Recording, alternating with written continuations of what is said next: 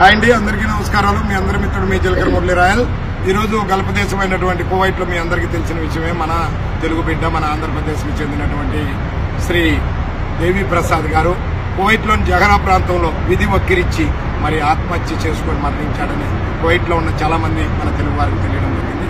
ఈ సందర్భంగా ఆయనకు మరి అన్ని విధాలుగా పేపర్ పనులన్నీ కూడా కువైట్ ప్రభుత్వం తరఫున మన భారతీయ రాయబారి కార్యాలయం తరఫున జరగాల్సిన పనులన్నీ మరి చేపించి అదేవిధంగా ఉచితంగా ఏ ఒక్క రూపాయి కూడా ఖర్చు లేకుండా ఆయనకు అయ్యే టికెట్కి సంబంధించినటువంటి విధానాలన్నీ మన ఇండియన్ ఎంబసీ ద్వారా అన్ని విధాలుగా ఏర్పాటు చేయించి ఈరోజు ఆ మృతదేహాన్ని ఆ మృతదేహం వెంట కూడా దేవి ప్రసాద్ గారు వెంట వాళ్ళ తల్లి గారిని కూడా మరి ఇండియాకు పంపించి ఆ యొక్క సేవా కార్యక్రమంలో పాల్గొని ఈ యొక్క సేవ ఆయన ఆత్మ శాంతించాలని ఏ లోకంలో ఉన్నానని చెప్పి మన తెలుగువారందరి తరఫున తరపున తెలుగువారి సేవకుడిగా కోరుకుంటూ మరి ఇందుకు సహకరించినటువంటి మన ఇండియన్ ఎంబసీ అధికారులందరికీ పేరు పేరున కృతజ్ఞతలు తెలియజేసుకుంటూ మీ అందరి మిత్రుడు తెలుగువారి సేవకుడు మీ చిలకర మురళీ రాయల్ జై హింద్ జై భారత్ మాతాకి.